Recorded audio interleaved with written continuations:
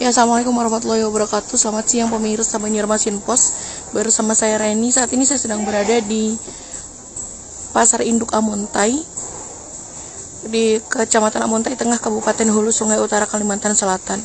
Yang bisa kita lihat di sini saat ini tengah dilakukan pengerjaan untuk penggantian atap di bangunan utama dari Pasar Induk Amontai.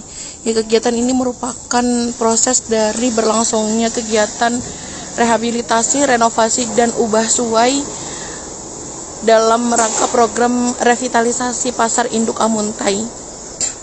Ya sebagaimana diketahui memang setelah beberapa lama be, ada beberapa bagian dari Pasar Induk Amuntai yang perlu dilakukan perbaikan.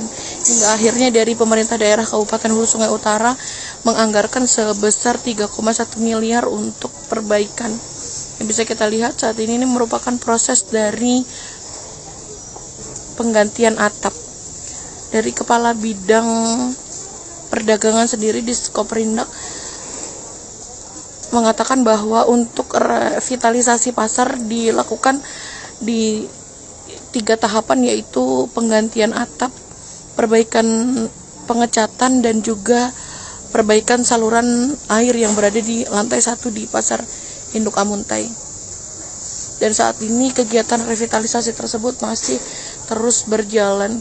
Untuk perbaikan plafon bisa kita lihat tadi setelah berkeliling memang sudah terlihat sudah banyak di bagian plafon yang telah diperbaiki.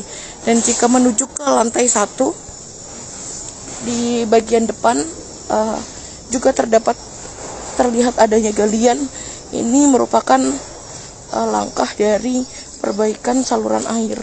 Mengingat pada saat musim penghujan biasanya di lantai satu sering tergenang.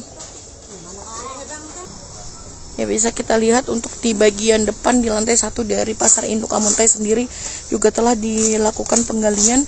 Ini merupakan bagian dari perbaikan saluran air di mana nantinya akan dipasang gorong-gorong di sebagian tempat di daerah ujung bisa kita lihat juga sudah terpasang. Jadi program pembangunan sendiri dilakukan oleh Dinas Pekerjaan Umum Kabupaten Hulu Sungai Utara dengan anggaran sebesar 3,1 miliar.